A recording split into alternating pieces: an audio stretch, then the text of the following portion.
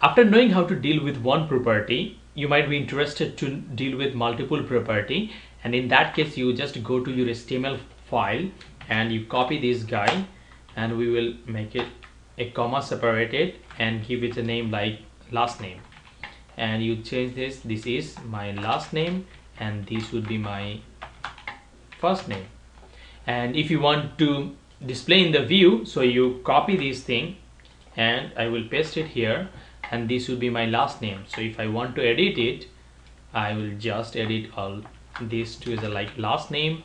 And this is last name. So I will the value would be last name and here also last name. Now the relation is uh, these two values is the last name and these two is the first name. We save it here and we come here refresh the page. We have first name last name. If I update the first name first name get changed. If I update the last name and then last name get updated very simple.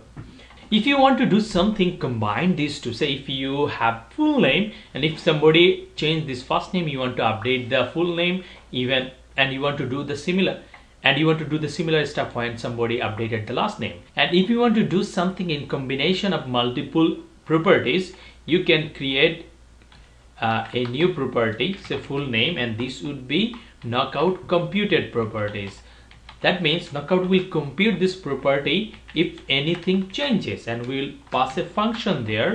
And this function say for example will return the your obj dot first name. You have to read it as a method and you will be separated by an space and your obj dot last name.